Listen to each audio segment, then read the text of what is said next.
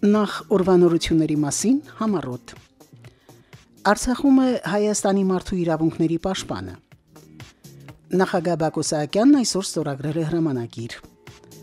Ստեփանակերտում կազմակերպվել է տոնական համերգ նվիրված Արցախյան շարժման 32-ամյակին։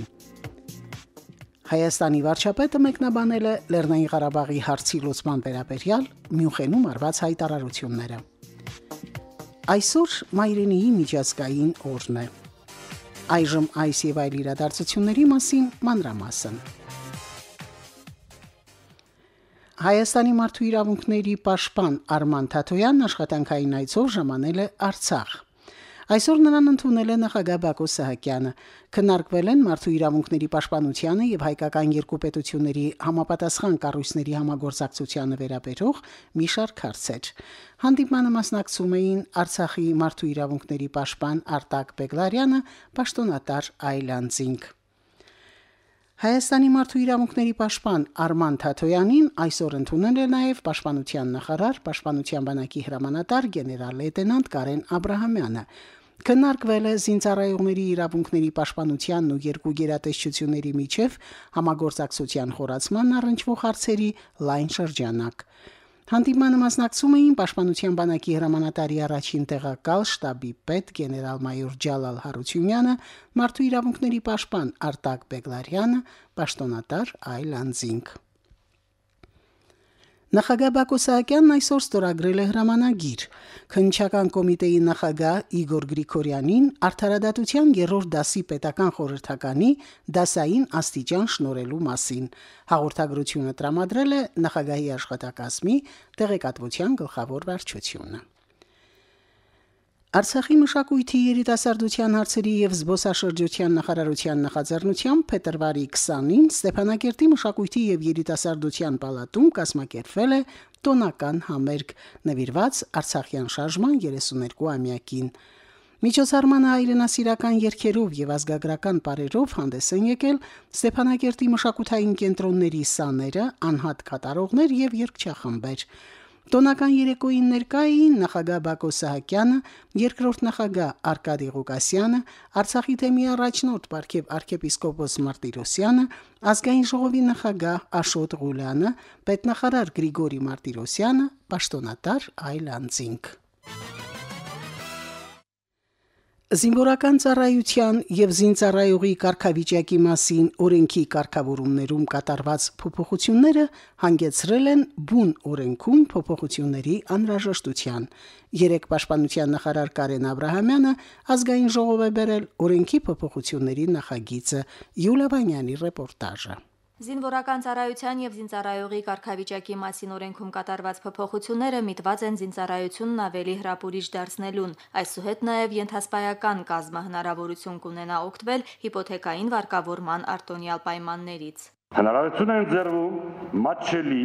եւ երկարաժամկետ հիպոթեկային վարկավորման ծրագրին ընդգրկել նաեւ ավագ ենթասպայական կազմի զինծառայողների։ Այս հարցը բազմիցս նաեւ ձեզ հետ հանդիպան ժամանակ բարձրացնում ենք նույնպես այս լուծման վերաբերյալ շատ ճիշտ եմ գտնում։ Նույն նպատակով է նաև զինծառայողների հետ կնքվող պայմանագրերի ժամկետի շեմի նվազեցումը։ Հնարավորություն է ընձեռվում պայմանագիր կնքել նաև երկու տարի ժամկետով, իսկ ակադեմիական ուսումնառությունը կամ պետական լիազոր մարմնի պատվերով բարձրագույն կամ հետբուհական ուսումնական հաստատություններ ավարտած անձած համար հնարավորություն է սահմանվում առաջի պայմանագիրը կնքել նաև երկու տարուց սկսած ժամկետով, գործող օրենքի համաձայն նվազագույն 3 տարվա փոխարեն։ Վերականգնում է նախկինում գործող պայմանագրային զինվորական ծառայության ընդունելու տարիքը 40 տարեկան տարեկանը, գործող օրենքով 36 տարեկանի փոխարեն։ Փոփոխությունների մի մասը վերաբերում է նաև ժամկետային զինծառայողներին։ Պարտադիր զինվորական ծառայության միաժամանակ զորակոչվող եղբայրների կողմից նույն զորամասում ծառայության նշանակելու ցանկության դեպքում վիճականությանը մասնակցում է միայն մեկ եղբայրը, իսկ ծառայության մեջ գտնվող եղբայր ունեցող զորակոչիկը եղբոր ծառայության վայր կարող է նշանակվել, եթե բավարարում է տվյալ զորամասում ծառայության նշանակվելու պայմանների։ Օրինակ կարող է խոսենք առողջության վիճակ, պատվո պահակային վարժ, նվագախումբ եւ այլ համապատասխան հատուկ ստորաբաժանների։ Պատերազմական գործողությունների ժամանակ հաստիկներին կցագրված քաղաքացիների հետ այսուհետ կկնքվեն 1 տարի ժամկետով պայմանագրեր գործող 3 ամսվա փոխարեն, իսկ մարտական գործողությունների մասնակցի կարգավիճակ տալու գործընթացը կիրականացնի միջգերատեսչական հանձնաժողովը։ Համապատասխան կոչումն էլ կշնորվի Պաշտպանության նախարարի հրամանով։ Յուլիա Վանյան այսօր։ Եթերում նորերի թողարկումն է։ Հայաստանի վարչապետ Նիկոլ Փաշինյանը վերահաստատել է Մյունխենի անվտանգության համաժողովի շրջանակում իր կողմից արված հայտարարությունը, որ Լեռնային Ղարաբաղի համար չկան տարածքներ, կա անվտանգություն եւ Արցախը չի կարող զիջել իր անվտանգությունը։ Այս մասին նա ասել է Հայաստանի հանրային հեռուստաընկերությանը տված հարցազրույցում։ Մենք ասում ենք, որ այդ ստատուս քվոն, երբ ձևավորվել է, երբ Արցախի ինքնապաշտպանական ուժերն այդ տարածքները վերցրել են վերահսկողության տակ, նրանք դա արել են, որպեսզի Ադրբեջանի ագրեսիվ գործողությունները Լեռնային Ղարաբաղից հնարավորինս հեռացվեն այնքան, որպեսզի դառնան անհասանելի։ Եթե կա առաջարկ անվտանգության ապահովման նույնքան արդյունավետ մի գործիքի, այդ առաջարկը թող ձևակերպվի եւ հայ ժողովուրդը կքննարկի դա իր համար ընդունելի է թե ոչ, ասել է Փաշինյանը։ Հարցազրույցում Հայաստանի վարչապետն անդրադարձել է Արցախում կայանալիք ընտրություններին։ Նրա խոսքով Արցախում միշտ ընտրությունների արդյունքներն ավելի վստահելի են եղել, քան Հայաստանում։ Արցախում ժողովրդավարական ընտրությունների անցկացումը եւս մեկ ապացույց է եղել, որ Արցախը կայացած պետություն է, ասել է Նիկոլ Փաշինյանը։ Արցախը չի եղել եւ չի լինելու Ադրբեջանի մաս։ Այս մասին ԳԱՀԿ խորհրդարանական վեհաժողովի մշտական հանձնաժողովի նիստում հայտարարել է հայ պատվիրակության անդամ Հայկ Կոնջորյանը։ Նշենք, որ վեհաժողովի նիստում ադրբեջանցի պատվիրակը հայտարարել էր, թե Ադրբեջանը կերաշխավորի Արցախի հայերի իրավունքները։ Կցանկանայի թարմացնել գործընկերոջս հիշողությունը եւ հravirել խորհրդարանական վեհաժողովի ուշադրությունը Ռամիլ Սաֆարովի ողբերգական դեպքի վրա, երբ Բուդապեշտում լեզվի դասընթացի ժամանակ այս մարդասպանը կացնահարեց քնած հայ սպայի։ Այս բարբարոսական գործողությունը հետագայում աննախադեպ հաջողության պատճառ դարձավ նրա կարիերայում։ Նրան ներես նախագահ Ալիևը այս մարդասպանին Ադրբեջանում վերաբերում են որպես հերոսի, ներկայացնում են որպես օրինակ հետագա սերունդների համար։ Ամեն անգամ, երբ ադրբեջանցի գործընկերներս կխոսեն մարդու եւ հայերի իրավունքների մասին, ես նրանց կհիշեցնեմ, որ նրանք մարդասպանին ներկայացրին որպես ազգի հերոս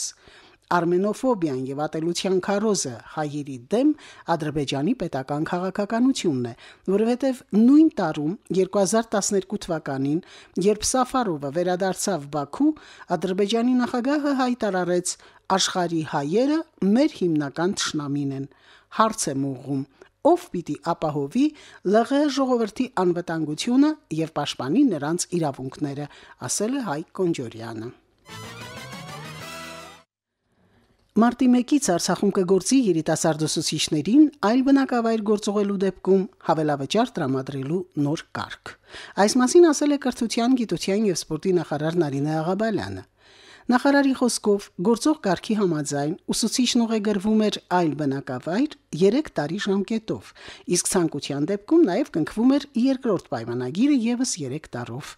Մեր կողմից ուսումնասիրվել են ուղեգրման արդյունքները եւ պատրաստ է նոր նախագիծը, որի համաձայն հանվելու է կիլոմետրերի սահմանափակումը։ 30 կիլոմետր եւ ավելի հեռավորությամբ ուղեգրվող ուսուցիչը ստանալու է եւ կեցության վարձ 20000 դրամի չափով եւ հավելավճար 50%-ի չափով իսկ մինչև 30 կիլոմետր հեռավորության վրա ուղեգրվող ուսուցիչների դեպքում կամ փոխհատուցվելու է տրանսպորտային ծախսը, եթե օգտվում են երթուղային տրանսպորտից, կամ էլ ոչ մասնակի փոխհատուցվելու են նրանց ծախսերը։ Փոփոխությունը կատարվում է այն նպատակով, որպեսզի խրախուսենք մոտիկ բնակավայրերում ապրող ուսուցիչներին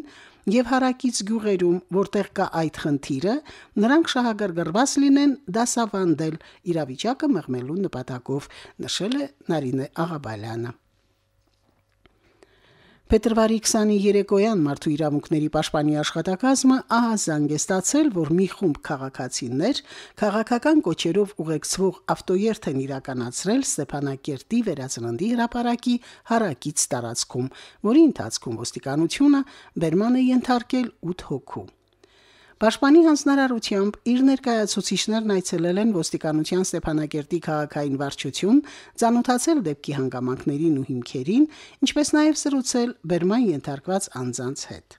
Պաշտպանի ներկայացուցիչները բարձաբանումներ են պահանջել ոստիկանությունից քաղաքացիներին բերման ենթարկելու հիմքերի,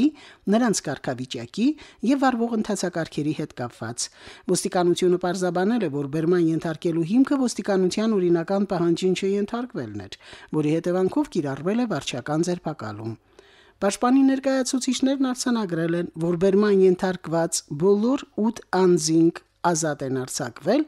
3 ժամվա ընթացքում։ Հայոց լեզուն անաղարտ պահենք խորագիր ներկրում այսօր Գրիգոր Նարեկացի համասարանում կազմակերպված միջոցառումը, որին ներկային դասախոսներ, ուսանողներ, հյուրեր։ Լսենք Վարսիկ Հարությունյանին։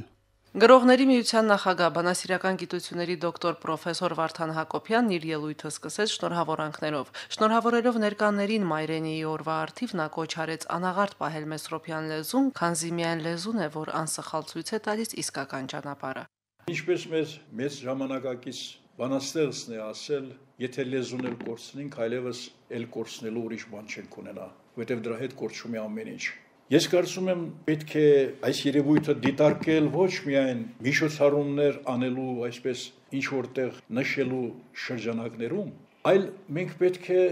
շատ ավելի գործառնական նշանակություն տանք այս խնդրին, որովհետև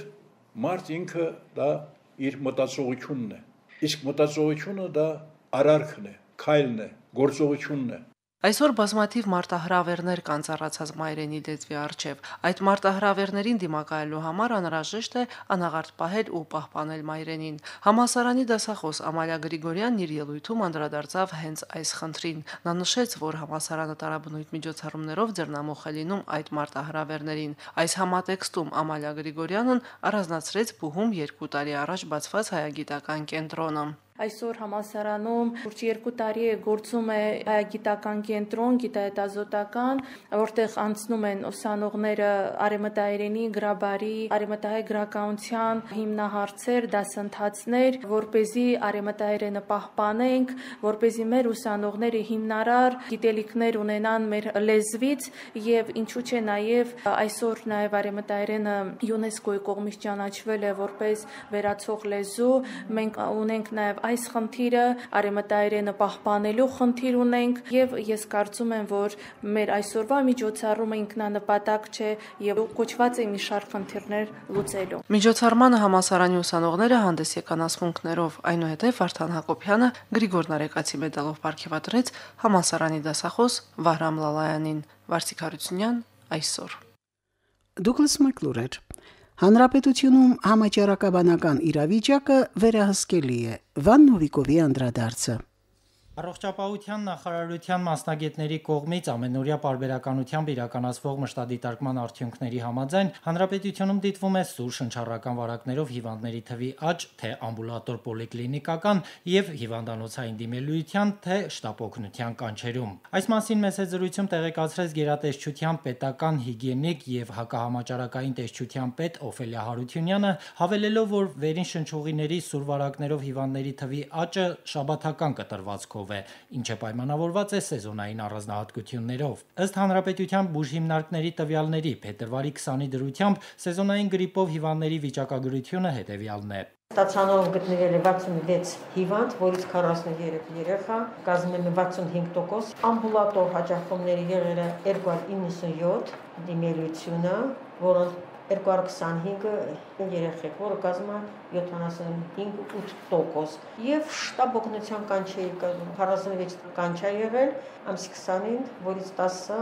վերի շնչողների հիվանդության պատճառով։ Ընդհանուր առմամբ վերահսկելի է համարում վիճակը։ Վերահսկելի է, լարված չէ, թեթևակի աճ եւ սա հաշվում է որպես համաճարակաբանական պիկ ամեն տարի այս ժամանակը մեզ լինում է թեթևակի աճ Նախորդ շաբաթ բուժ հիմնարկներում արձանագրված ցուցանիշները հետևյալն էին. ստացիոնար բուժվողներ 49, որից 37-ը երեխա, ամբուլատոր դիմելույությունը 179, որից 135-ը երեխա։ Ինչպես հայտնի է առողջապահության նախարարության առաջարկով հանրապետության բնակչության շրջանում վերին շնչուղիների վարակի սեզոնային աճի գրանցման եւ համաճարակաբանական լարված իրավիճակի ու կանխարգելման հետ կապված դադարեցվել է հանրապետության բոլոր հանրակրթական եւ նախադպրոցական հաստատությունների գործունեությունը։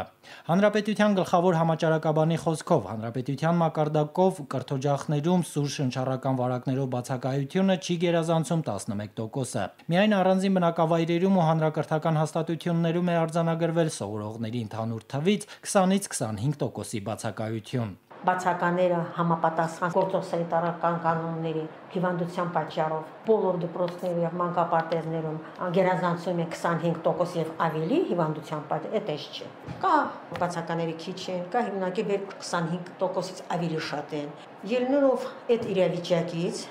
ավելի ճիշտ են գտնել, որ երկու օրով դպրոցների աշխատանքը դադարեցնենք։ Ըստ մեր զրուցակցի առաջիկա երկուշաբթի օրվա դիտարկման արդյունքներով կհստակեցվի դասապրոցեսների բնականոն ընթացքը վերականգնելու կամ ժամանակավոր դադարը շարունակելու նպատակահարմարությունը։ Օֆելիա Հարությունյանը վստահեցնում է, որ խոճապի մատնվելու կարիք չկա։ Նախորդ տարվա նույն ժամանակահատվածի համեմատ հիվանդների թվի աճ չի նկատվել, իսկ ձեռնարկված միջոցառումները բացառապես կանխարգելիչ նպատակ են հետապնդում։